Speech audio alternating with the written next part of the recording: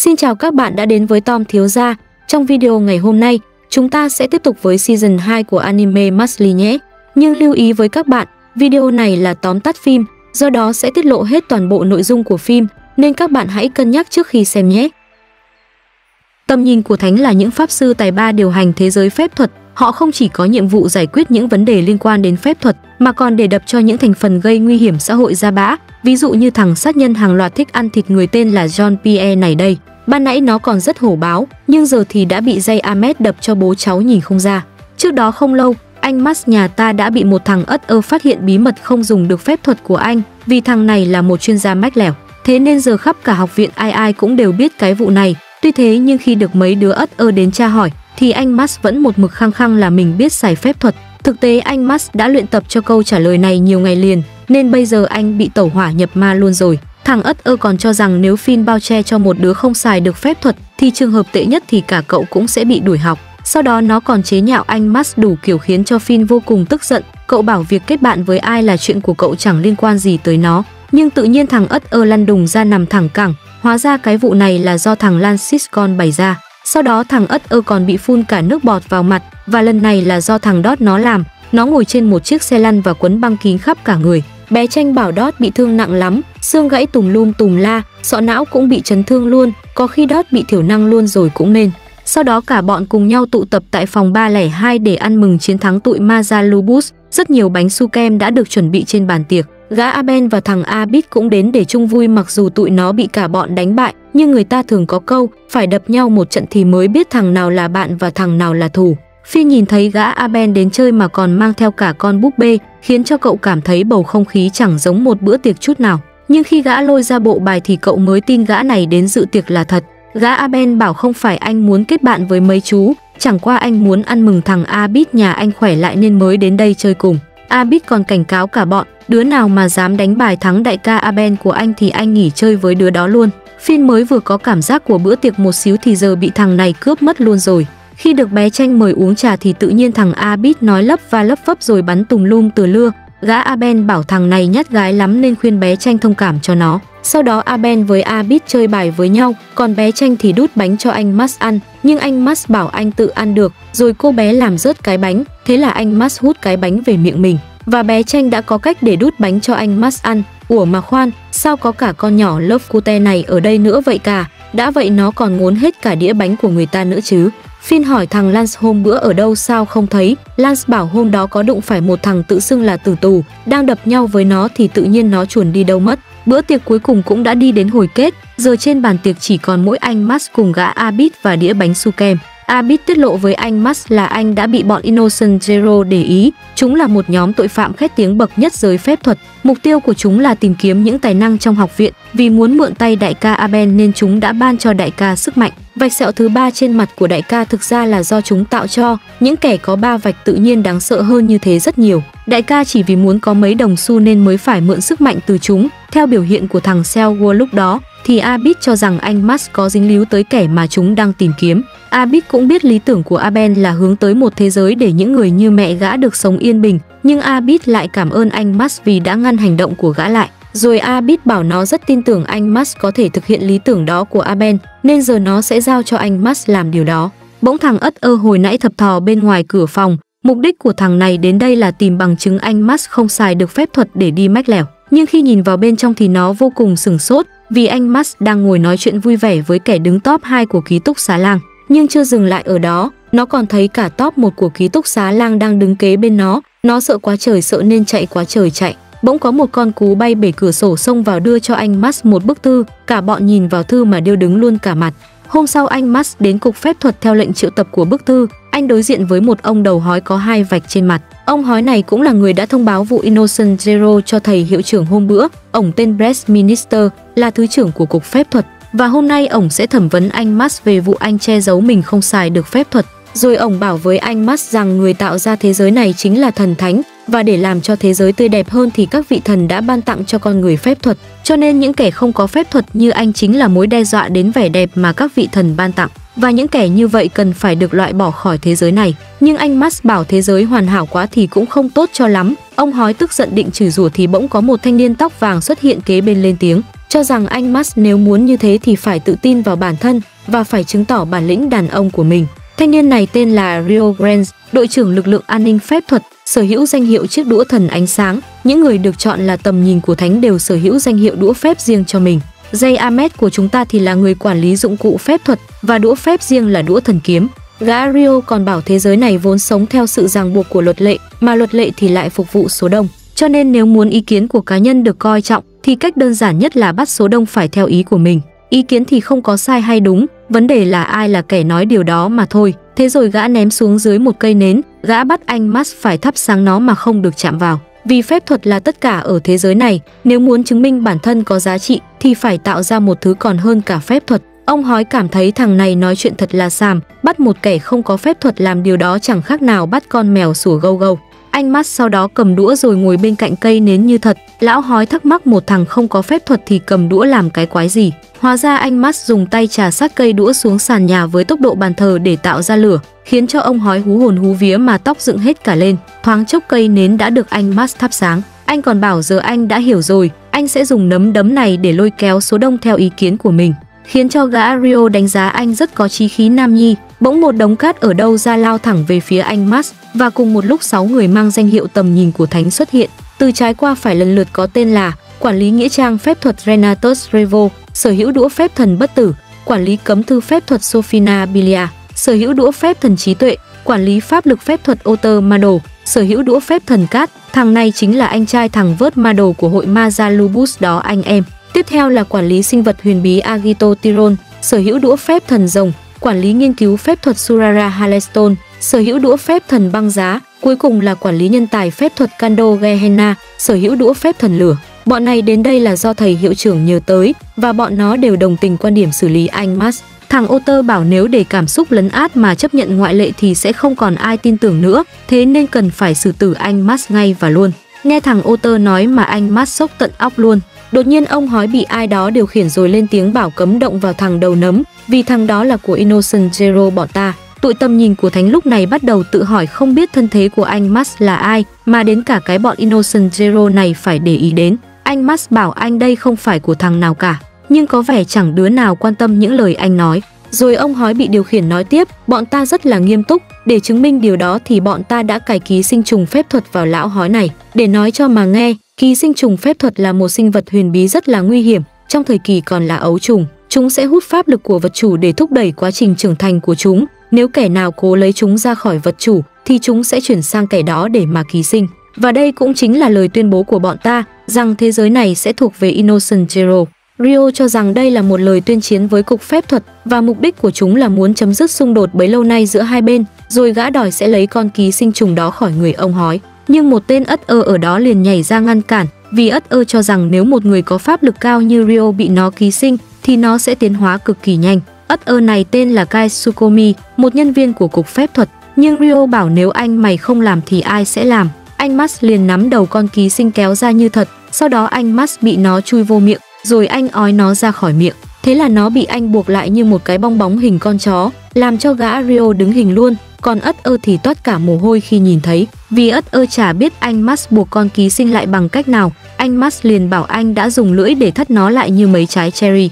Nói xong anh còn đứng cầu nguyện cứ như ông hói chết luôn rồi vậy. Dù hành động của anh rất ngầu và bản lĩnh, ngay cả gã Rio cũng phải công nhận điều đó. Tuy nhiên thằng ô tơ cho rằng chuyện nào ra chuyện đó. Luật lệ thì vẫn là luật lệ, ý kiến của một kẻ không dùng được phép thuật sẽ không có giá trị và đó chính là cách mà thế giới này vận hành. Cho nên án tử của anh Max vẫn sẽ được giữ nguyên. Quyết định này đã được hội ý bởi các tầm nhìn của Thánh và giờ nó sẽ áp giải anh Max đi. Nhưng anh Max thụt hai chân xuống dưới nền nhà, bảo anh đây không đi đâu hết, có giỏi thì lôi anh đi hộ cái. Thế rồi thằng ô tơ hóa thành cát xong đột ngột xuất hiện phía sau anh Max, nó còn định cho anh Max bay màu thì bị gã Rio cản lại, Gã bảo quyết định được hội ý nhưng anh mày đã nói câu nào đâu. Thằng ô tơ nói không cần ý kiến của gã, vì tuân thủ luật lệ là cách mà thế giới này vận hành. Bỗng một thanh kiếm to tổ bố ở đâu lao thẳng về phía ô tơ và Rio, rồi thầy hiệu trưởng và dây Ahmed cùng lúc xuất hiện. Thầy hiệu trưởng đến xin cả bọn tạm hoãn án phạt cho anh Max, vì vừa rồi là lần đầu tiên Innocent Zero gửi một thông điệp như vậy. Nên thầy cho rằng anh Max là manh mối quan trọng liên quan tới tụi nó, nên không thể để mất anh Max được. Anh Mas công nhận thầy xịn sò ra phết, gã Rio liền bảo thời trai trẻ thầy hiệu trưởng từng là một tầm nhìn của thánh và cũng là người duy nhất có đủ sức đối đầu với Innocent Zero, đến cả người sắp trở thành số một của giới phép thuật như gã cũng phải kính nể phần nào. Dù là lời xin sỏ từ một người xịn sò, nhưng thằng Otter vẫn một mực kiên quyết với ý định xử lý anh Mas của nó. Thế là thầy liền cởi mũ ra và cúi đầu trước nó, làm cho cả bọn vô cùng bất ngờ. Thầy bảo đúng là Mas không dùng được phép thuật, trình độ và cách ăn nói có hơi không ổn một xíu, nhưng thầy tin cậu ấy có sức mạnh làm lay động trái tim người khác và một người như thế có thể sẽ thay đổi được nhận thức của thế giới. Bấy lâu nay những người không có phép thuật luôn bị đối xử tệ bạc và thầy đã luôn nghi ngờ về sự bất công này. Giá trị quan của con người đã thay đổi xuyên suốt qua các thời đại của lịch sử, nhưng để thay đổi thì cần phải có dũng khí và chấp nhận những sai lầm trước đó, thế mà những sai lầm đó lại vẫn cứ mãi là sai lầm. Dù nghe lời hay ý đẹp từ thầy, nhưng thằng ô tơ vẫn cứ giữ vững lập trường, thế là dây cũng quỳ xuống để xin xỏ nó. Dây bảo anh cũng đồng ý với quan điểm của thầy và cũng cho rằng anh Max là người có thể tin tưởng được. Nhưng thằng ô tơ và đồng bọn vẫn cho rằng luật lệ là luật lệ, dù thế nào thì cũng phải xử lý Max Bernadette đúng theo luật. Lão hói cũng đồng tình quan điểm với lũ này, lão vẫn luôn cho rằng kẻ không có phép thuật cần phải bị đào thải. Tuy nhiên vừa rồi lão đã được một người không có phép thuật cứu mạng và vốn dĩ vụ xử lý anh Max cũng là nhiệm vụ của lão, cho nên giờ lão sẽ hoãn lại bản án cho anh Max, cho dù có bị xử phạt thế nào thì lão cũng sẽ không rút lại phán quyết này. Thằng ô tơ không còn cách nào nên quyết định đưa ra một điều kiện, đó là anh Max phải hành động dưới sự giám sát của tụi nó và trở thành một quân cờ có giá trị để chống lại tụi Innocent Zero và để thể hiện mình có đủ năng lực cho điều đó, thì hãy trở thành một ứng cử viên sáng giá cho vị trí tầm nhìn của thánh năm nay. Tuy nhiên, nếu thất bại thì sẽ bị xử lý theo luật lệ. Anh Max nhất trí ngay và luôn. Anh còn nói anh biết để thực hiện ước muốn của thầy hiệu trưởng, cùng với mong muốn được sống yên bình với ông già của anh thì nhiêu đó thôi vẫn chưa đủ, nên anh đập tay xuống đất một cái đùng, rồi bảo anh sẽ cho tụi Innocent Zero đó xanh cỏ. Một ai đó cũng đã cảm nhận được sự thách thức này từ anh Max và chuyện này đã được anh Max tường thuật lại cho đồng bọn Thằng Dot lúc này cũng đã tháo băng và đòi được đi quẩy ăn mừng vụ này. Sau đó cả bọn rủ nhau ra phố, Phin đến rất sớm và chờ tụi đồng bọn, cậu tự hỏi không biết trang phục thường ngày của tụi nó thế nào. Thì bất ngờ cậu thấy có một bộ giáp xuất hiện và thằng này là thằng Dot, sau đó là màn xuất hiện của anh Max cùng với con lăn tập tạ. Anh bảo vì lần đầu ra phố với bạn nên không biết phải mặc đồ gì cho nó ngầu, khiến Phin cảm thấy xấu hổ khi phải đi chung với hai khứa này. Sau đó thằng Lan xuất hiện với một bộ đồ rất bảnh tỏn, Phin mừng ra mặt vì cuối cùng cũng có một thằng trông bình thường như người ta. Nhưng ngờ đâu cái áo bên trong mà nó mặc là hình của em gái nó. Đót bảo ở con đường này có một trò chơi khá nổi tiếng, đó là trò cô A la hắc xì hơi. Cứ chọc cho nó hắc xì bằng giấy ăn đã cuộn xoáy, thì nước mũi mà nó bắn ra sẽ đông cứng lại thành phi tiêu. Anh Max nghe có vẻ hay nên đòi chơi thử, thế là thằng Đót bị hét sọt vào đầu. Thằng Đót hơi cay cú nên đòi dạy cho anh Max cách chơi, thế là anh Max bị hét sọt vào đầu và hai thằng bay vào đập nhau khô máu. Lance muốn mua một cây đũa mới nên dẫn cả bọn đến tiệm đũa. Lance còn bảo cuộc tuyển chọn cho ứng cử viên tầm nhìn của Thánh sắp diễn ra, nhưng vì em gái nên nó sẽ không nhường cho anh Max. Bên trong tiệm bán đũa có một ông già bán đũa và trên tường của tiệm bán đũa có rất nhiều đũa. Phin đứng vào một cái vòng và thi triển pháp lực thì có một cây đũa trên tường lao thẳng tới chỗ cậu. Vì pháp lực của pháp sư sẽ triệu hồi ra một cây đũa phép thích hợp cho họ. Sau đó Lance cũng trổ tài nghệ và cũng nhận được cây đũa cho mình. Tới lượt anh Max thì Phin rất lo lắng, vì anh Max không sử dụng được phép thuật thì làm gì có cây đũa nào xuất hiện. Chợt anh Max thấy có một cây đũa nằm lẻ loi ở đằng trước, ông già bảo cây đũa đó có ở đây rất lâu rồi, vì nặng quá nên chẳng có ai nhấc nó lên được. Nghe đồn phía dưới nó còn có một dòng nước của tinh linh, có thể dùng để chế ra được nhiều loại đũa bá đạo, nhưng khổ nỗi chưa từng có ai nhấc nó lên được, nên không biết dòng nước đó có thật hay không. Anh Max tới nhấc cây đũa thì quả thật ở dưới có dòng nước bắn lên thật, rồi anh xin ông già cây đũa này làm quà. Ông già hú hồn chim én nên cho anh Max cây đũa luôn. Còn Lance đi mua đũa nhưng cuối cùng lại không mua. Vì bận việc nên bé Tranh và đội trưởng Tom đến muộn, đã đủ mặt chiến hữu nên cả bọn cùng nhau quẩy tới bến đến mệt lả cả người. Anh Max cảm thấy rất vui nên rủ cả bọn lần sau đi chơi nữa. Lần đầu nghe anh Max bộc lộ cảm xúc nên cả bọn rất bất ngờ. Lance bảo lần sau sẽ dẫn cả em gái theo cùng. Giờ anh Musk đã có được 7 xu vàng trong tay nên cũng đã sẵn sàng để tham gia cuộc tuyển chọn tầm nhìn của Thánh sắp tới. Nhưng trước đó anh rất muốn làm một việc. Anh có hỏi xin dây về việc này rồi, nhưng thấy mặt dây hơi căng nên anh lại thôi. Và việc mà anh muốn đó là về nhà gặp ông già. Anh nghĩ dù thế nào thì cũng nên về thăm ông già một chuyến. Thằng ô tơ lúc này đến gặp kẻ đứng đầu của ký túc xá Oka để nhờ làm một vụ, và vụ mà nó nhờ là tìm cách ngăn không cho anh Musk tham gia vòng loại tuyển chọn tầm nhìn của Thánh. Hậu quả thế nào thì cứ để cho nó lo kẻ đứng đầu của ký túc xá Oka tên là Margaret Macaron, tuy bề ngoài mang dáng vẻ to con nam tính, nhưng tâm hồn bên trong chẳng khác nào của một thiếu nữ, và hắn chỉ quan tâm đến những gì làm cho hắn kích thích mà thôi. Otter còn tiết lộ vụ anh Max đã đập cho gã Aben xanh cỏ và giờ đang nắm giữ hết các xu vàng. Ngoài ra anh Max không hề biết dùng phép thuật, Margaret nghe tới vụ không biết dùng phép thuật thì làm rớt luôn miếng đồ ăn đang cầm. Sau đó hắn còn đàn một bản nhạc vô cùng du dương và lãng mạn mang dáng vẻ mùa xuân đã tới và dường như hắn đang rất kích thích, khiến cho tụi đàn em nhìn thấy tởm cả gai óc. Khi anh Max về tới nhà thì ông già liền ôm chầm lấy anh vì quá nhớ. Cô Lemen cũng có mặt và hỏi thăm anh về tình hình. Tuy nhiên anh Max không về một mình mà còn có cả bè lũ chiến hữu đi cùng. Thấy anh Max có bạn khiến ông già khóc cạn cả nước mắt. Thằng Đót bảo tuy trên danh nghĩa là bạn nhưng thực tế nó là đối thủ và nó mạnh hơn anh Max. Bé Tranh cũng không kém cạnh và giới thiệu mình là vợ tương lai của anh Max và cô bé rất hân hạnh được gặp mặt bố chồng. Còn thằng Lance thì tặng ông già mấy sản phẩm có hình em gái. Anh Max bảo thằng này vẫn chưa ngộ ra chân lý quan điểm mỗi người mỗi khác nên kêu ông già cứ mặc kệ mà nhận cho nó vui. Sau đó cả lũ cùng quẩy tưng bừng ăn mừng, khiến ông già nghĩ Phin chắc mệt lắm khi chơi chung với tụi có vấn đề. Ông già còn tâm sự rằng trước giờ chưa từng dám cho anh Max ra ngoài chơi, nên khi thấy anh Max dẫn bạn về thì ổng rất bất ngờ, ổng ước giá như mọi chuyện cứ yên bình thế này mãi thì thật tốt biết mấy. Trong lúc đó Margaret cùng đồng bọn đang truy đuổi anh Max thì bất ngờ có rất nhiều thanh kiếm to bự lao thẳng vào tụi nó và kẻ gây ra vụ này không ai khác chính là Jay Ahmed.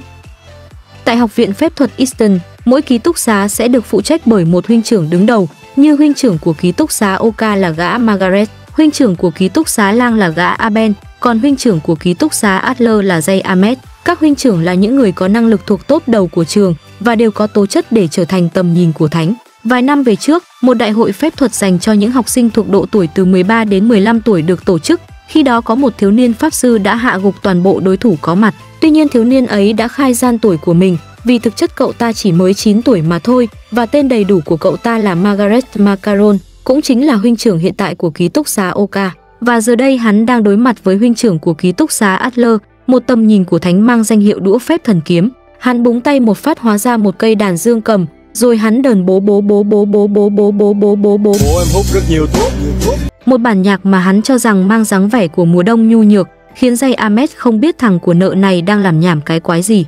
Hắn bảo không phải kẻ mạnh nào cũng muốn trở thành tầm nhìn của thánh, cơ bản thì đó cũng chỉ là cái danh mà thôi, không giống như dây tìm kiếm cái danh nhảm nhí đó. Thứ mà hắn muốn theo đuổi là sức mạnh thuần khiết. Nói xong những nốt nhạc của hắn và những thanh kiếm siêu to khổng lồ của dây lao vào đập nhau túi bụi. Hai bên chiến đấu rất căng thẳng và kịch tính, nhưng có vẻ kiếm đã thất thế và dây bị bao quanh bởi các nốt nhạc của Margaret. Hắn cảnh báo nếu dây mà niệm chú để thi triển phép thuật thì những nốt nhạc này sẽ được kích hoạt và nổ banh chành. Rồi hắn hỏi dây biết lý do tại sao mà chúng ta luôn tìm đến sự kích thích hay không. Hắn nói nếu như không có nghệ thuật, tình yêu, thể thao hay rượu chè cờ bạc thì chúng ta vẫn có thể sống bình thường mà chẳng mất mát thứ gì. Thế nhưng chúng ta lại vẫn cứ tìm đến chúng. Đó là bởi vì khi không có chúng thì chúng ta sẽ bị sự nhàm chán giết chết. Vì thế con người sống trên đời là để theo đuổi sự kích thích, thế mà chú lại rãnh rỗi đi trỏ mũi vào chuyện của chế là sao chứ hả? Khôn hồn thì cút khỏi chỗ này để chế đi gặp bé Max thân yêu.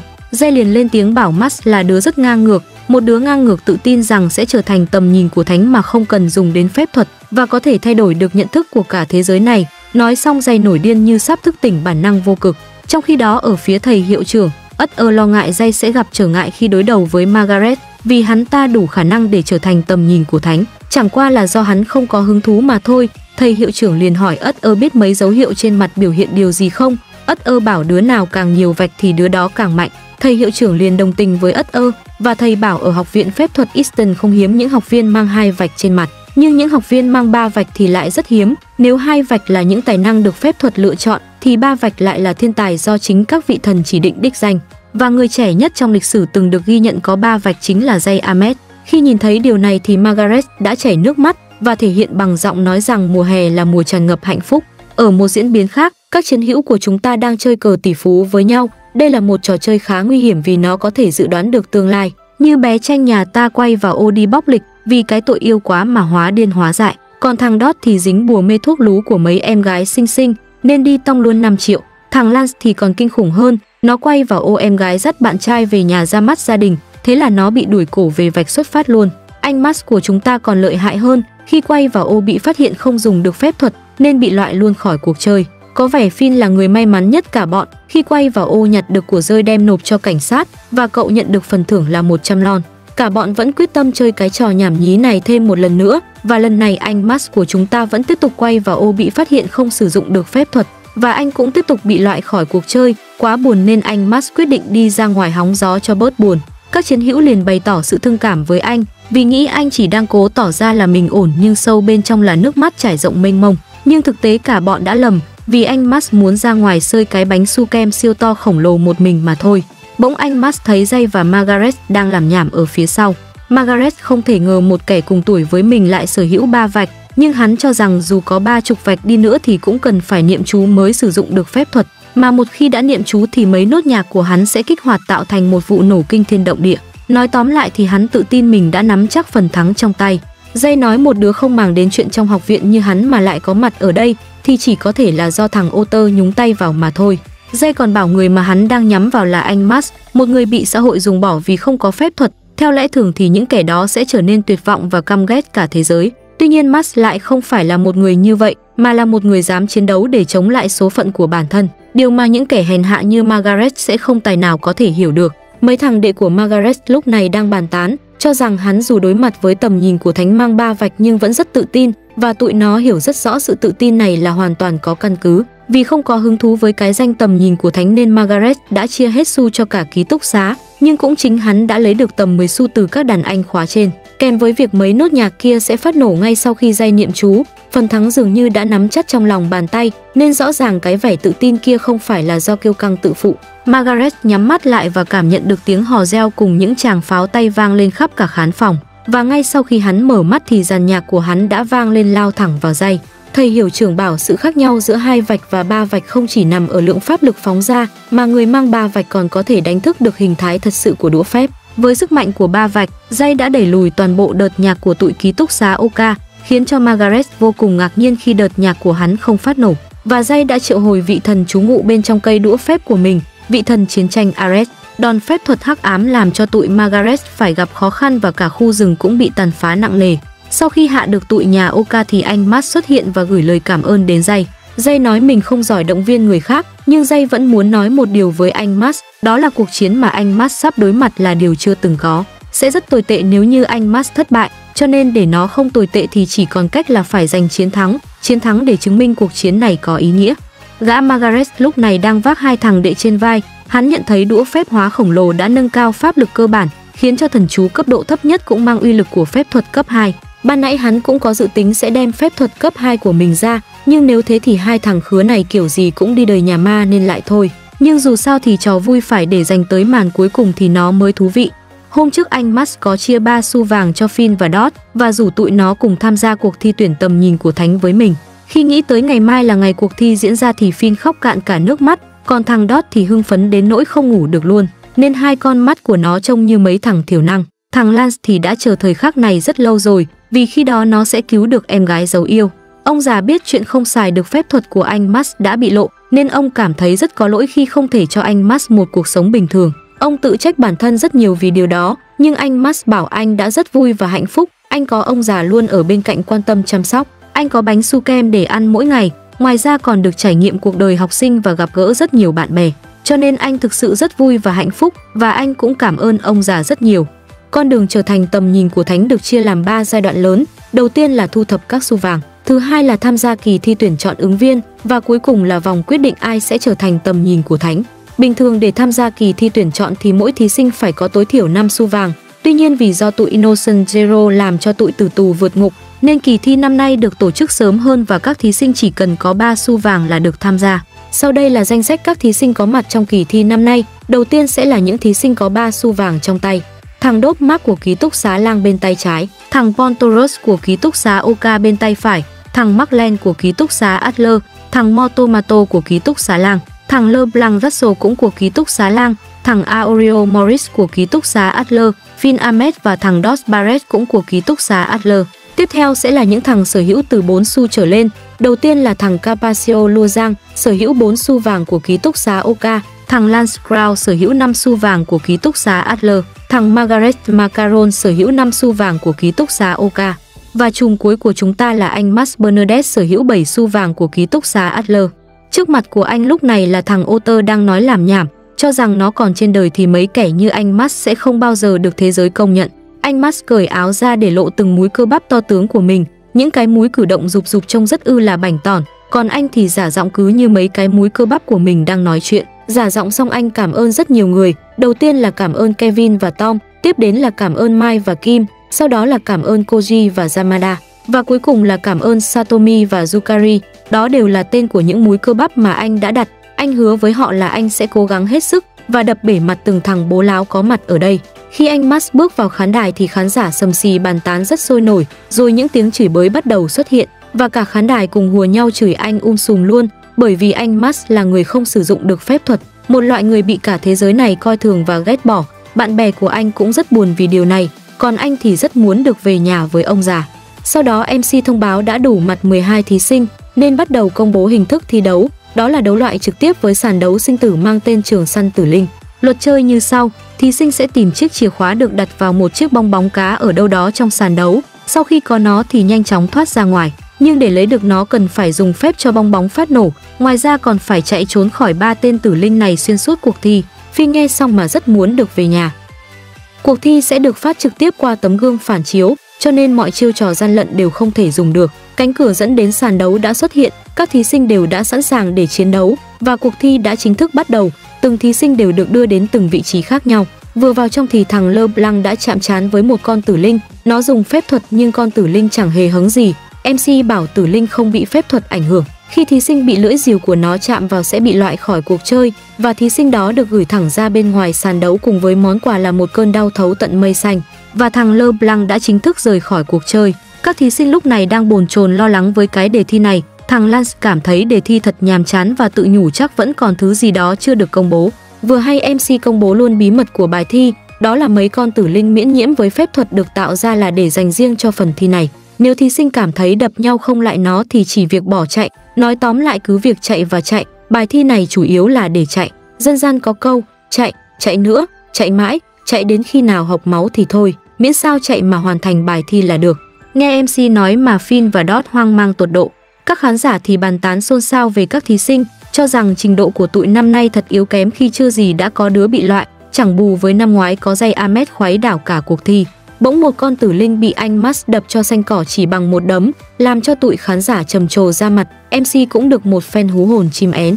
Cứ tưởng con tử linh thế là hẹo, nhưng không, nó đã phục hồi rất nhanh và đứng dậy định chơi khô máu với anh Max. MC bảo con này không chỉ có nội tại kháng phép mà còn có khả năng hồi phục siêu bá đạo. Nghe thế anh Max đành phải bỏ chạy vì có cố đập nó cũng chẳng ăn thua. Anh hy vọng gặp được ai đó quanh đây để giúp anh tìm ra được chìa khóa. Vì mấy trò xài não thì anh đành phải bó tay. Đang chạy thì tự nhiên anh Max biến thành nhỏ xíu xìu xiu, còn bên cạnh là đàn anh năm ba tên Marklen cùng chung ký túc xá với anh. Marklen bảo con tử linh có thị lực rất yếu nên nó chỉ dựa vào thính giác để hành động, vì thế chỉ cần giữ im lặng là được và phép thuật của Marklen là có thể thay đổi kích thước vật thể theo ý muốn.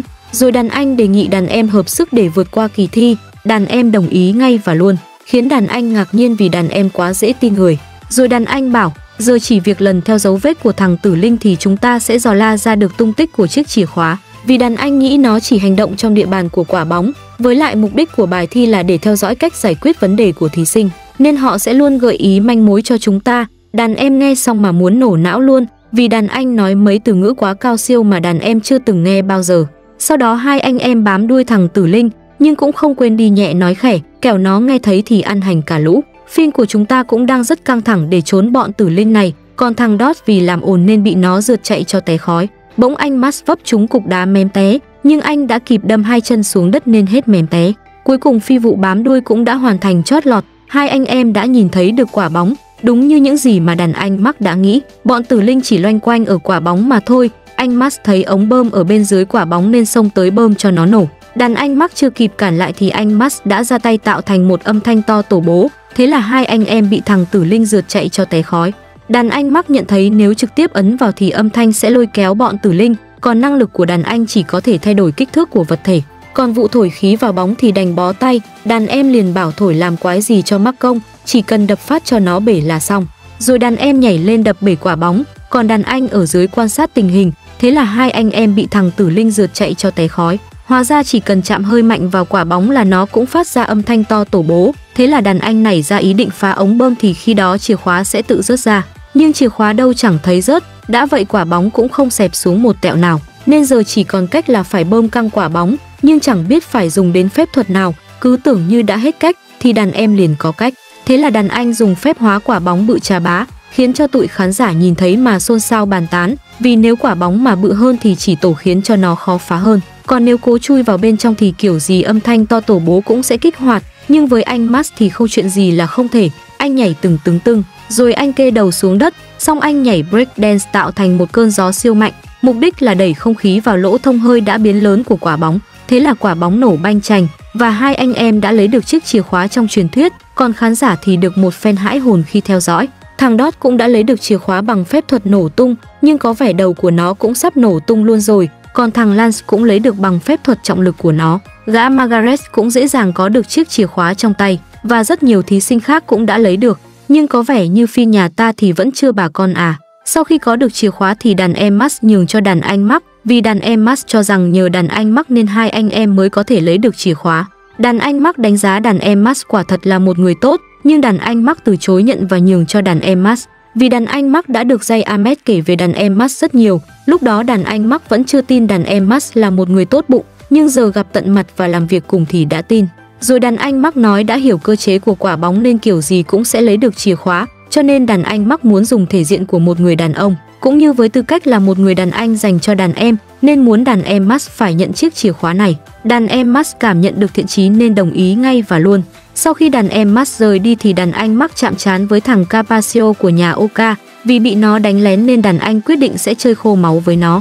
Sau khi quay trở lại đấu trường thì anh Max gặp Finn và Dot, hóa ra nhờ sự giúp đỡ của Dot mà Finn đã lấy được chìa khóa, mà hình như hai đứa có hơi tơi tả thì phải. Lance không ngờ anh Max không dùng được phép thuật mà vẫn có được chìa khóa. Anh Max bảo nhờ có đàn anh giúp đỡ, nhưng ngẫm nghĩ lại thì anh Max vẫn không hiểu sao đàn anh lại giúp đỡ mình. MC bảo hiện đã có 8 người lọt vào vòng tiếp theo, mà vòng tiếp theo thì chỉ có tối đa 9 người, cho nên chỉ còn một vị trí cuối cùng nữa mà thôi. Vừa dứt lời thì đàn anh mắc bước ra khỏi cửa, nhưng chỉ được vài bước thì đàn anh nằm thẳng cẳng vì bê bết máu tùm lum. Và đằng sau đó là sự xuất hiện của thằng Capaccio, nó còn dẫm chân lên đầu của đàn anh rồi sỉ nhục đàn anh nhãi nhép các kiểu. Điều này khiến anh Max rất quạo, rồi anh Max bảo nếu mày tiếp tục làm thế thì bố sẽ đấm mày. Phi nhận ra thằng này nằm trong top đầu của đám năm nhất năm nay, giống như thằng Lance thì nó thuộc hàng ưu tú thứ thiệt. Sau đó thằng Capaccio cầm ly nước tới hất vô mặt anh Max, cho rằng mấy đứa nhãi nhép thì đừng có mà nói chuyện với bố mày. Nhưng anh Max đã kịp chặn lại và nước đã được rót vô cái bình của anh cùng bột đậu nành. Sau đó anh lắc lắc cái bình, rồi anh uống nước trong cái bình. Anh bảo anh có thói quen cứ 3 tiếng là phải nốc nước tăng lực tự chế. Anh còn quảng cáo bột đậu nành này rất giàu chất đạm, khi uống nó đúng giờ đúng giấc sẽ rất tốt cho sức khỏe. Với lại anh còn tự hỏi nó cứ luôn miệng nói nhãi nhép này nhãi nhép nọ, nhưng trước giờ anh vẫn chưa gặp đứa nào mạnh hơn mình bao giờ. Nghe anh Max nói mà nó xám xịt luôn cả mặt. Anh còn nói định nghĩa sức mạnh của mỗi thằng mỗi khác, cho nên mỗi thằng sẽ có định nghĩa khác nhau về sức mạnh. Nói xong thì anh hỏi nó mà mạnh là như thế nào hả mày? Làm cho tụi khán giả ngớ ngẩn ra mặt, vì rõ ràng anh tự nói cho ngầu vô rồi cuối cùng lại không hiểu mình đang nói cái gì. Thằng Capaccio có vẻ đang rất quạo nên nó ném cái ly đi, định đập nhau xanh chín với anh Max thì bà chị MC cản lại, rồi bà chị bắt đầu vòng tiếp theo luôn. Ba cái hình với ba màu khác nhau được tạo ra và chiếu thẳng vào từng thí sinh, làm cho áo choàng của các thí sinh đều đổi thành ba màu theo ba cái hình. MC bảo sàn đấu tiếp theo có tên là pha lê sinh mệnh và sẽ thi đấu theo từng đội, mỗi đội gồm 3 thành viên. Từng thành viên trong mỗi đội sẽ mang theo một viên pha lê và nhiệm vụ là phá vỡ các viên pha lê của đội đối thủ. Đội nào bị vỡ hết pha lê thì bị loại. Nạp quá nhiều thông tin cùng một lúc khiến anh Max bị thần kinh luôn rồi. Phim cảm thấy có hơi buồn vì Lance bị chia vào đội của nhóm khác. Sau đó pha lê đã được phát cho mỗi thí sinh, vì nó rất dễ vỡ nên MC dặn cả bọn nhớ cẩn thận. Nhưng chưa nói dứt câu thì anh Max nhà ta trượt tay làm vỡ luôn rồi. Phim có hơi hoang mang một xíu, nhưng vì vẫn còn thằng Đót nên cậu dặn lòng chắc không sao đâu. Bỗng có một tiếng xoảng ở đâu đó, hóa ra là thằng Đót nó làm. Nó bảo cái này hơi trơn trơn nên bị ruột tay. Cảm giác không sao đâu của Phin thế là đã bị dập tắt, cho nên tia hy vọng cuối cùng còn sót lại của cả bọn hiện giờ là pha lê của Phin. Hai thằng ông nội tự tin sẽ bảo vệ được nó nên dặn Phin đừng có lo lắng quá.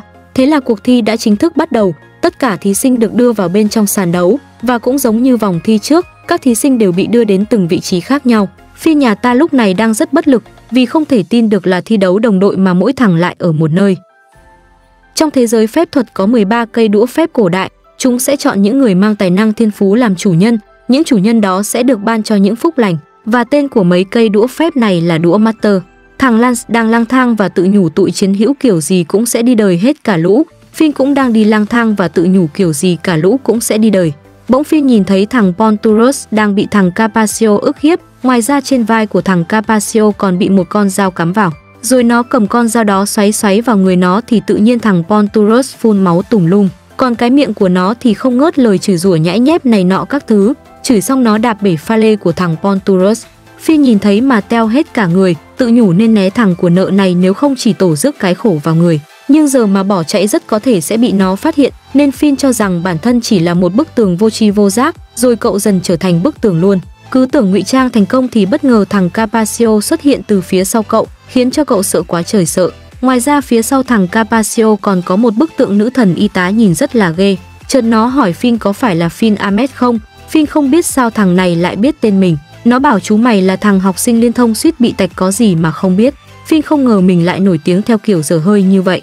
Nó còn hỏi một kẻ thất bại như chú mày tại sao lại có mặt ở kỳ thi tuyển tầm nhìn của thánh này, hay là do anh trai mày nhúng tay vào. Nhưng tóm lại bố đây rất ghét phải nhìn thấy mặt lũ nhãi nhép, nên khôn hồn thì giao pha lê ra đây cho bố. Bị nó đe dọa khiến Finn muốn tè ra quần. Dù sợ nhưng cậu nghĩ viên pha lê này nắm giữ tương lai của chiến hữu Max, cho nên cậu phải cố hết sức để bảo vệ nó đến cùng. Nhưng chưa kịp làm gì thì cậu bị thằng Capaccio làm cho bắn tùm lum, rồi nó bảo một thằng nhãi nhép như chú mày mà định phản kháng lại bố à. Đằng nào bố cũng sẽ lấy được viên pha lê nên tốt nhất mày ngoan ngoãn mà giao nó ra đây.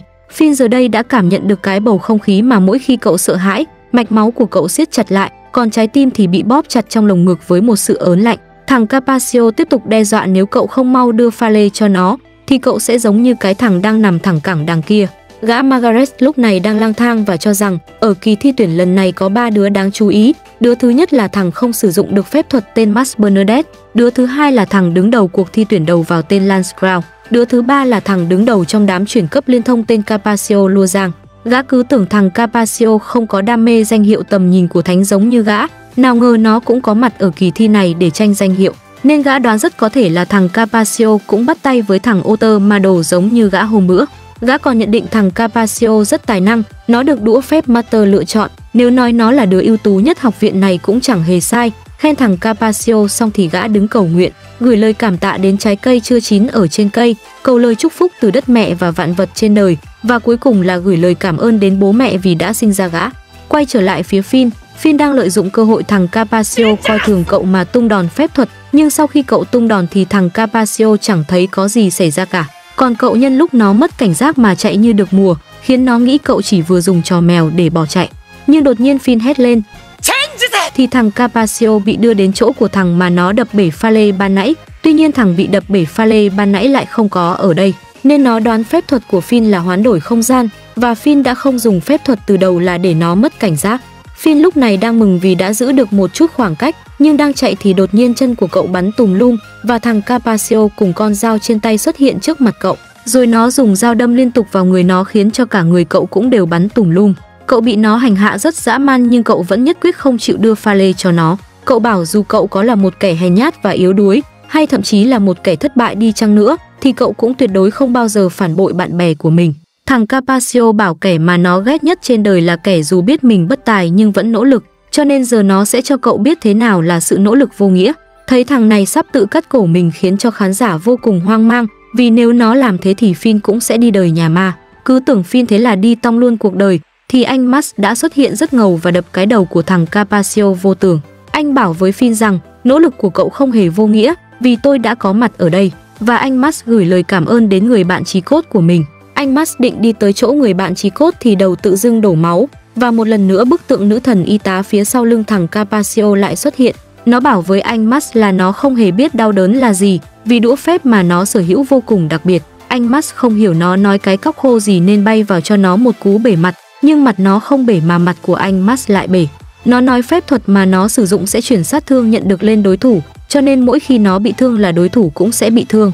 Tuy nhiên vết thương của nó sẽ lập tức được phục hồi vì cây đũa phép này sẽ tự hấp thụ những đau đớn mà nó nhận được. Kể từ khi cây đũa Master chọn nó làm chủ nhân, cây đũa đã chúc phúc cho nó khả năng miễn nhiễm sát thương, nên từ lúc nó sinh ra đời nó vẫn chưa hề biết đau đớn là gì. Thầy hiệu trưởng công nhận đám năm nhất năm nay xịn sò ra phết. có một thiên tài được đũa Master lựa chọn đích danh. Thằng Capaccio còn bảo nó rất muốn biết cảm giác đau đớn là thế nào, nhưng một kẻ nhãi nhép như anh Max thì tuổi gì mà làm được điều đó. Nói xong nó đâm nhiều nhát liên tục vào người, khiến anh Max phải khổ sở vật lộn với nỗi đau mà nó gây ra. Dù anh cố đấm nó rất nhiều nhưng vẫn chẳng ăn thua, vì anh đều bị phản ngược lại sát thương. Nó tiếp tục nói nhảm, cho rằng vận mệnh của mỗi người do tài năng bẩm sinh định đoạt, việc mà anh Max đang cố làm chỉ là để thỏa mãn bản thân trong vô vọng. Cả thằng Finn Ahmed cũng thế, đã thảm hại ngay từ thời trung học, đem so với đứa anh trai thì chẳng khác nào so trời với đất. Đã vậy một viên pha lê nhỏ xíu cũng chẳng tự bảo vệ nổi mà phải nhờ đến kẻ khác, may khiến bố chứng hết cả mắt con ạ. À. Anh Max công nhận nó nói cũng có lý, không làm được thì nên từ bỏ sẽ tốt hơn, phải biết tự lượng sức mình thì mới sống tốt được. Đúng là với góc nhìn của mày thì hành động của Finn chỉ là sự nỗ lực vô nghĩa. Tuy nhiên dù cậu ấy biết rõ bản thân không đủ sức để làm và thậm chí là rất sợ hãi, nhưng cậu ấy vẫn cố gắng đứng lên để chống lại mày để bảo vệ viên pha lê, cho nên anh mày sẽ không tha thứ cho kẻ nào dám xem thường cậu ấy.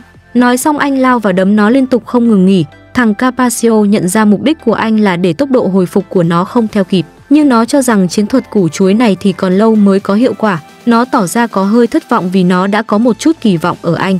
Nhưng bỗng nhiên bức tượng nữ thần y tá bị nứt, anh Max vẫn cứ thế mà đấm liên tục không ngừng, khiến cho thằng Capaccio bắt đầu lo lắng. Vì vụ bị nứt này là lần đầu mà nó thấy, nó không ngờ tượng nữ thần lại có giới hạn. Rồi anh Max dừng tay lại, anh bảo tao mạnh hơn mày gấp một triệu lần. Giờ mày đã biết rõ như thế rồi, thì liệu mày có dám đứng lên chống lại tao giống như cách mà Phin đứng lên chống lại mày không? Nhưng tự nhiên nó cười như một thằng đần, nó thầm nhủ vết nứt chỉ càng khiến bức tượng phòng thủ tốt hơn mà thôi. Thầm nhủ xong thì bức tượng bỗng tiến hóa thành một dạng trông rất xấu nhưng có vẻ mạnh. Tiến hóa xong thì bức tượng ném ra rất nhiều kim tiêm vào anh Max. Trong khi đó thằng Capaccio đâm con dao vào người nó để anh Max bị thương. Đã vậy còn tỏ ra hưng phấn vì không ngờ trên đời lại tồn tại một kẻ như anh. Bỗng anh Max lôi cây đũa sắt siêu nặng hôm bữa ra, rồi anh dùng tay để kéo cây đũa biến dạng theo ý của mình, khiến tụi khán giả vô cùng sừng sốt vì anh chỉ dùng lực của tay mà có thể làm biến dạng cây đũa bằng sắt. Thoáng chốc cây đũa đã được anh Max làm thành một cây vợt, rồi anh dùng cây vợt đánh bóng thẳng vào vết nứt của con nữ thần. Tất nhiên nó cũng tấn công anh bằng kim tiêm, nên anh phải vừa đánh vừa né và cũng vừa né vừa đánh. Tụi khán giả theo dõi mà mồ hôi nhễ nhại như tắm, còn anh Max thì vẫn tiếp tục vừa đánh vừa né và vừa né vừa đánh. Sau một hồi đánh né liên tục thì con nữ thần cũng đã đi đến giới hạn, thế là nó đã bị anh Max đập cho bay màu. Xong rồi anh bảo nó nếu mày muốn biết đau đớn là như thế nào thì nó sẽ là như thế này. Nói xong anh đập cây vợt vào đầu nó thế là nó hẹo. Tụi khán giả lúc này cạn lời luôn rồi vì không ngờ một người được đũa Master lựa chọn mà lại bị hạ dễ dàng như thế. Phiên định xin lỗi anh Max nhưng anh Max đã ngăn lại bằng một lời cảm ơn. Anh bảo anh biết mình rất ngáo và đần.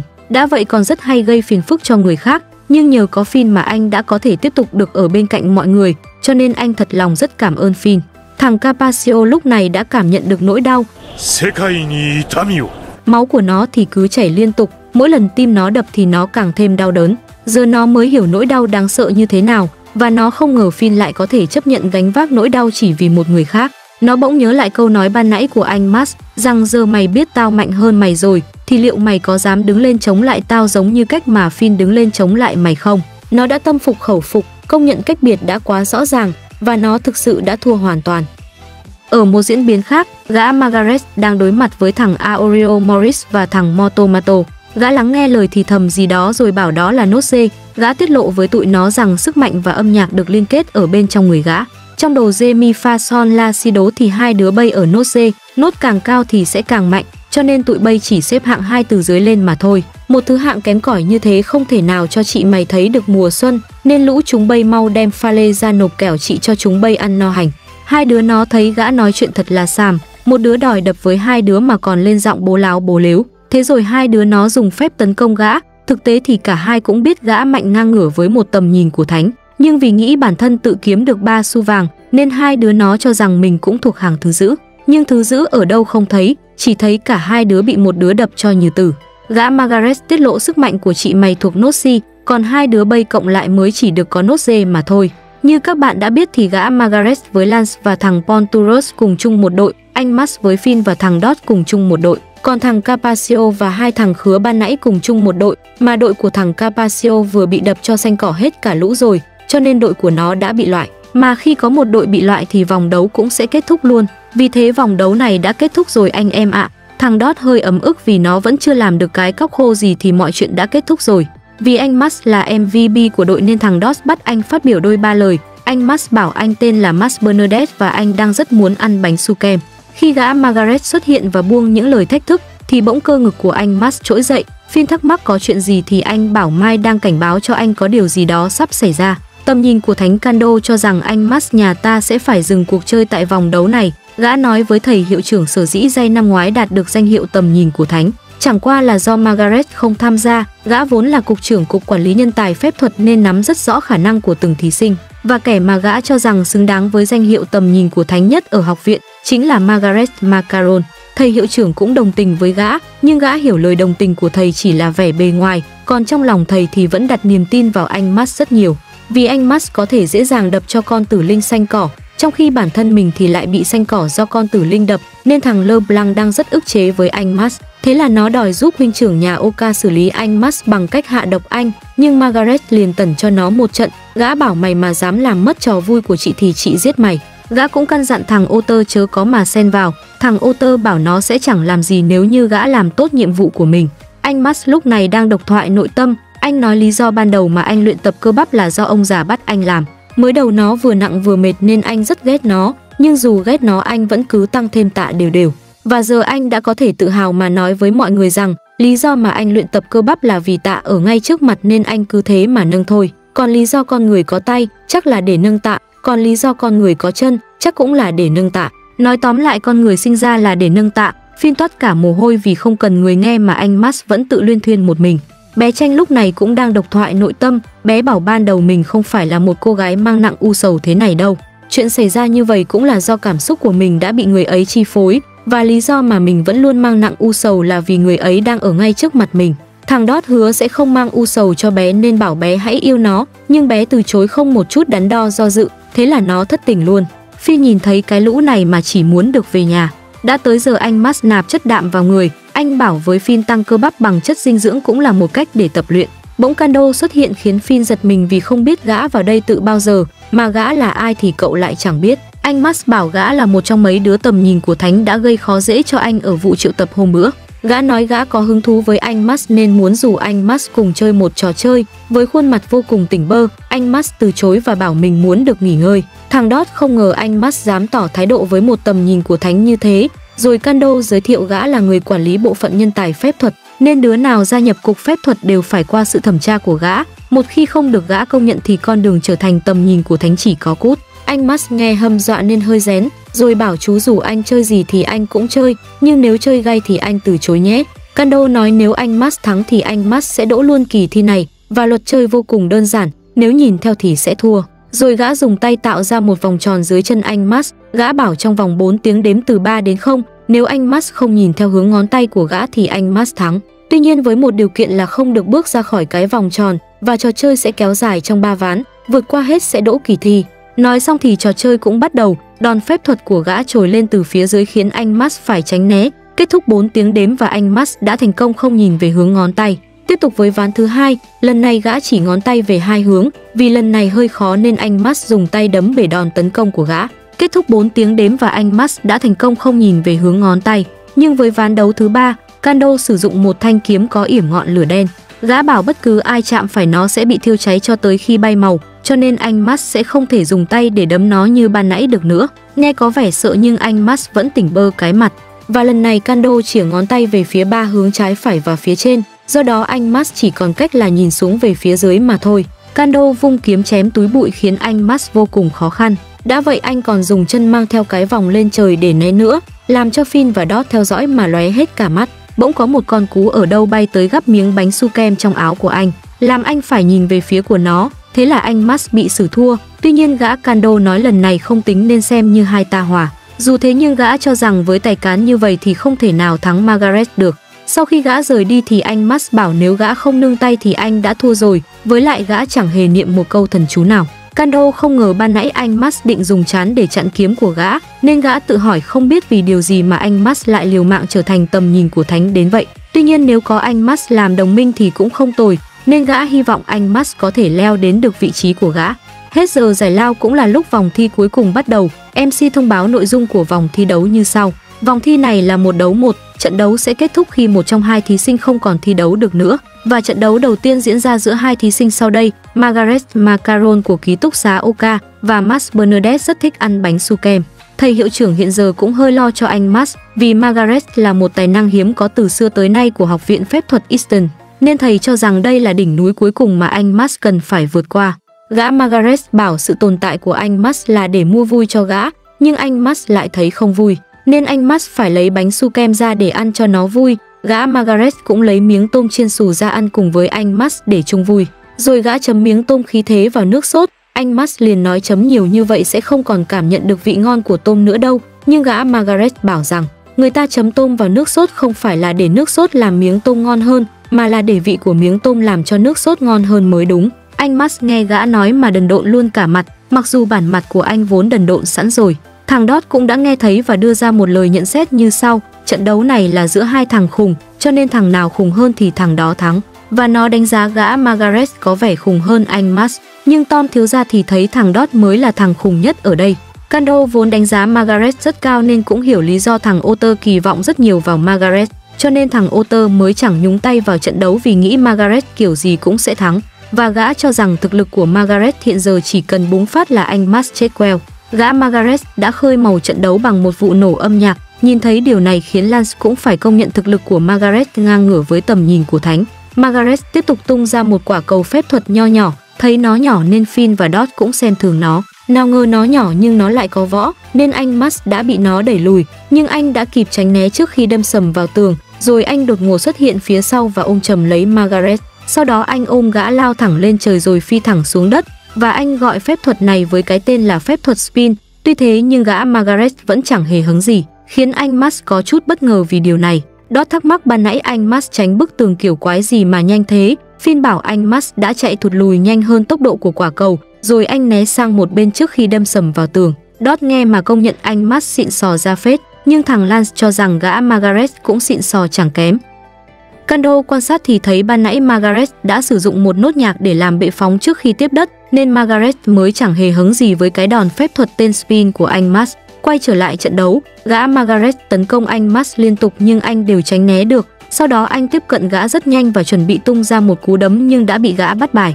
Cứ tưởng gã sẽ cho anh Max đi đời, nhưng gã lại dừng tay vì gã biết anh Max đang cố bảo vệ một thứ gì đó. Hóa ra thứ mà anh Max bảo vệ là cái bánh su kem ở trong áo. Margaret bảo anh Max nên để cái bánh su kem sang một bên. Vì nếu còn thứ cản trở thì hai đứa sẽ không thể nào chơi nhau khô máu được. Anh Max không ngờ gã lại có tinh thần nghĩa hiệp với cái bánh su kem ra phết.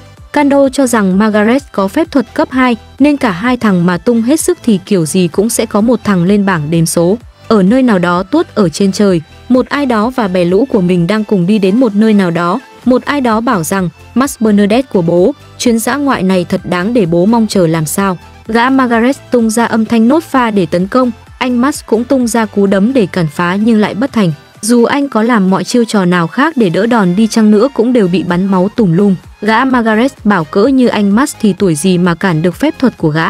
Nói xong gã tiếp tục triệu hồi ra rất nhiều cái kèn to bự bao quanh anh Max, âm thanh vang dội phát ra từ cái kèn đã tạo thành một vụ nổ cực lớn. Tụi khán giả công nhận Margaret quả là một thiên tài đích bự, phe này anh Max chỉ có nước ăn hành ngập mồm mà thôi.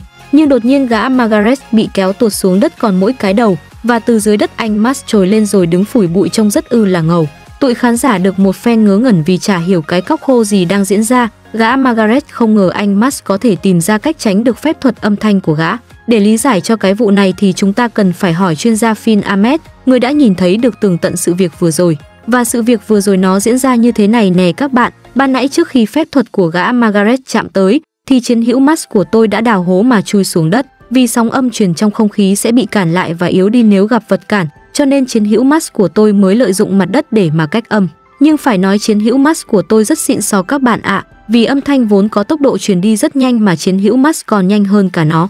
Thoát khỏi tâm trí của Phin thì chúng ta cũng quay về với thực tại. Anh Max lúc này đang rất hổ báo và tung ra một cú đá thẳng vào cái bản mặt của gã Margaret. Anh Max gọi cú đá của mình với tên gọi là cú đá chém đầu. Lũ khán giả nhìn thấy mà không thể tin nổi vào mắt mình, vì thiên tài đích bự Margaret vừa bị một đứa không có phép thuật đá cho một phát nằm xài lai. Không chỉ có thế, anh Mas nhà ta còn a lê hấp lên người của gã, rồi anh tung ra liên hoàn đấm tùm lum, anh đấm lía đấm lia, rồi anh đấm lia đấm lía. Nhưng đột nhiên gã Margaret lên tiếng, bảo rằng chú em phải như thế thì chị đây mới có hứng để mà chơi hết mình. Nghe gã nói mà anh Max phải tháo lui về phía sau, rồi gã Margaret niệm thần chú giải trừ pháp lực của gã. Âm thanh vang dội lay chuyển cả sàn đấu, tụi khán giả bày tỏ sự hoang mang vì đây là lần đầu bọn nó được chứng kiến lượng pháp lực khủng khiếp đến thế này. Sau một hồi rào rú đinh tai nhức óc khiến cho đầu tóc anh Max tung bay trong gió, thì gã Margaret cũng đã giải trừ pháp lực của mình thành công, nhưng thật kỳ lạ, vì gã Margaret lúc này lại trở thành ả Margaret, ả ta đã hóa từ một gã thanh niên lực lưỡng đầu hói không có một cọng tóc nào, thành một đứa nhóc trông như con gái và có đầy tóc mọc ở trên đầu. Ở diễn biến bên cục phép thuật, trong lúc gã Rio đang soi gương và hỏi gương thần đứa nào đẹp trai nhất thế gian này, thì bất ngờ ất ơ đến thông báo với gã rằng bọn Innocent Zero đã bắt đầu hành động, nhưng lần này khác với mọi khi, vì đích thân Innocent Zero ra mặt để đập nhau luôn. Nghe ất ơ nói mà Rio như bị sét đánh vào mặt, vì lần này coi như xong đời hết cả lũ. À Margaret bảo không phải vì ả biến thành trẻ con mà coi thường, vì trong hình dạng này ả có thể giải phóng toàn bộ pháp lực của mình, ví dụ như xuất hiện đột ngột kế bên và thổi nhẹ một phát vào tai anh Max, khiến cho anh ớn lạnh mà giật bắn cả người rồi đổ gục xuống đất. Lũ khán giả nhìn thấy mà vô cùng khó hiểu, nên đoán điểm yếu của anh Max nằm ở cái tai. Còn bé tranh khi chứng kiến thì cơn ghen liền trỗi dậy. Anh Max vung tay đấm Margaret nhưng ả tự nhiên biến mất tiêu, rồi ả đột ngột xuất hiện tuốt ở phía trên nóc của sàn đấu. Ả nói ả giờ đây chính là âm thanh, rồi ả búng tay một phát và bất ngờ xuất hiện kế bên anh Max và đá anh một đá. Sau đó ả còn di chuyển rất nhanh bằng cách búng tay khiến cho tụi khán giả há hốc cả mồm. Kando cho rằng phép thuật đã giúp cho Margaret bước lên âm thanh mà di chuyển, hay nói cách khác thì Margaret di chuyển bằng tốc độ của âm thanh. Nếu anh Max không thể dùng được phép thuật thì chỉ còn cách phải nhanh hơn cả âm thanh mới mong chạm được vào ả ta. Những cú búng tay lia lịa tạo ra tốc độ vô cùng khủng khiếp đã khiến cho anh Max nhà ta bị ả đập như tử khâu trượt phát nào. Cứ tưởng anh Max đành bó tay chịu trận thì đột nhiên anh tránh được đòn của Margaret rồi bất ngờ vòng ra sau lưng ả. Gã Kando liền nhận ra anh Max đã lợi dụng đặc tính truyền dẫn của âm thanh vì âm thanh trong môi trường không khí sẽ truyền chậm hơn ở môi trường chất lỏng mà tốc độ trong môi trường chất lỏng lại chậm hơn môi trường chất rắn. Do đó khi Max chạm vào tường thì có thể cảm nhận được âm thanh truyền đến trước khi đòn tấn công chạm tới mình. Gã công nhận anh Max cũng đỉnh ra phết, vì để áp dụng điều đó thì cần phải có thần kinh phản xạ thuộc tầm cỡ vũ trụ mới có thể làm được. Margaret cũng có lời khen dành cho anh Max, nhưng ả bảo một khi ả vẫn còn búng tay được thì anh Max chỉ có cút. Đột nhiên bàn tay của ả dính đầy chất nhầy nhụa, hóa ra thứ này là nước sốt chấm tôm chiên xù của ả ban nãy. Vì dính thứ này nên ả không tài nào có thể búng tay được nữa. Ả đang thắc mắc lý do tại sao bị dính nó thì bất ngờ ả ăn nguyên cú kẹp cổ từ anh Max. Lance cho rằng cú đánh này chỉ ngăn ngừa mối hiểm họa tạm thời mà thôi, vì Margaret vẫn còn phép thuật cấp 2 chưa dùng đến. Lance vừa nói xong thì Margaret quyết định dùng phép thuật cấp 2 luôn, và ả ta triệu hồi ra một cái chuông bự kinh khủng là bự. Quả chuông này có tên gọi là chuông tử thần, kẻ nào nghe thấy âm thanh của nó thì chỉ có nước đi chầu ông bà. Margaret bảo trong vòng một phút tiếng ngân của nó sẽ bao phủ phạm vi hai cây số. Để ngăn chặn điều đó thì chỉ có một cách duy nhất là cướp lấy cây đũa phép trong tay của ả, bằng không hậu quả sẽ rất là khôn lường. Nhưng có vẻ như nó chỉ ảnh hưởng ở phạm vi đấu trường này mà thôi. Margaret bắt đầu di chuyển với tốc độ thượng thừa, anh Max cũng cố bắt kịp ả để cướp lấy cây đũa. Thoáng chốc 30 giây đã trôi qua và giờ chỉ còn 30 giây nữa. Trong lúc mình nói 30 giây thì thời gian đã không còn 30 giây nữa rồi. Thời gian lúc này đang đếm ngược, chỉ còn hơn 10 giây một xíu. Thấy sắp hết giờ nên anh Max chơi lớn dùng tay lật luôn cả sàn đấu. Nhờ thế mà ả Margaret bị chặn mất lối đi, với tốc độ vô cùng nhanh anh Max lao thẳng vào ả. Ả lúc này đang phân vân không biết chạy qua bên trái hay bên phải thì sẽ thoát. Thì chợt ả nhận thấy anh Max nghiêng về bên phải nên ả quyết định chuồn qua bên trái, thì bất ngờ anh Max đổi hướng qua bên trái rất nhanh. Margaret nghĩ cách xa như thế thì đừng mong mà đuổi kịp ả, nhưng anh Max đã với tay xa nhất có thể, rồi tóm được vào áo của ả bằng ngón tay út. Bằng lực của ngón út anh đã lật ngược ả ngã chẳng vó rồi nhanh tay chộp lấy cây đũa phép và bẻ gãy nó. Chiến thắng của anh Max đã khiến cả khán đài nháo nhào vì quá ảo. Những chiến hữu của anh Max cũng đều rất vui mừng trước chiến thắng này, thầy hiệu trưởng cũng vui mừng chẳng kém cạnh là bao. Gã Kando công nhận anh Max thú vị ra phết, nhưng có vẻ như thằng Otter thì lại không thích cái vụ này cho lắm. Margaret cũng phải công nhận thực lực của anh Max, không sử dụng được phép thuật nhưng lại có thể tiến xa được thế này, khiến cho ả thua một cách tâm phục khẩu phục. Bỗng trời đất rung chuyển và tối đen như mực, bầu trời thì đột nhiên bị nứt ra, mấy con rồng to tổ bố xuất hiện từ khe nứt đó, và phía trên lưng của tụi nó là bè lũ Innocent Zero. Một ai đó chỉ thẳng ngón tay lên trời để dùng phép ngưng động thời gian và toàn bộ những người có mặt ở khán đài đều bị bất động kể cả anh Max. Một ai đó tiến tới bên cạnh anh và bảo rằng bố không ngờ con vẫn còn sống và nhìn rất bảnh tỏn. bố đã chìm trong tuyệt vọng vì nghĩ rằng mình đã mất con, đứa con trai yêu quý của bố, và giờ bố sẽ hấp thụ con để trở nên hoàn thiện hơn, nhưng một ai đó chưa kịp làm thì thầy hiệu trưởng liền xuất hiện ngăn hắn lại, và một ai đó chính là Innocent Zero. Vậy là tập 7 đến đây là hết. Rất cảm ơn các bạn đã quan tâm và theo dõi. Xin chào và hẹn gặp lại các bạn trong các tập tiếp theo nhé.